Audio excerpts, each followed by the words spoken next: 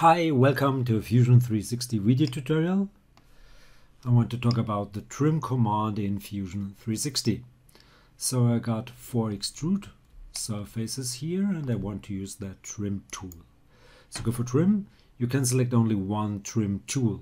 So I will go for maybe this surface and then you can of course here trim this side or that side or this side and you can trim both of them if you want.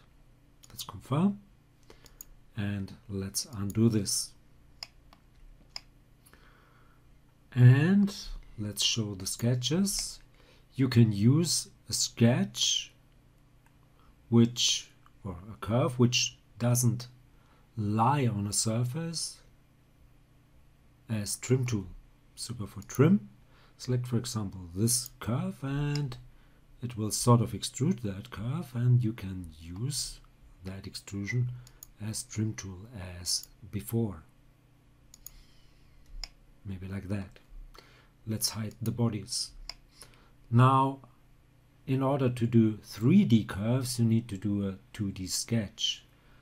So, if you are in a 2D sketch, like this one, and you got those 3D splines.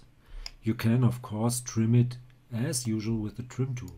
Just go here, click, click and okay and you can just trim as in a 2D sketch. And that's it. There is nothing more here. So, hope you enjoyed this one. Hope it was a little bit helpful. If you did, please give it a like or leave a comment. If you want to see more, please give it a like or leave a comment.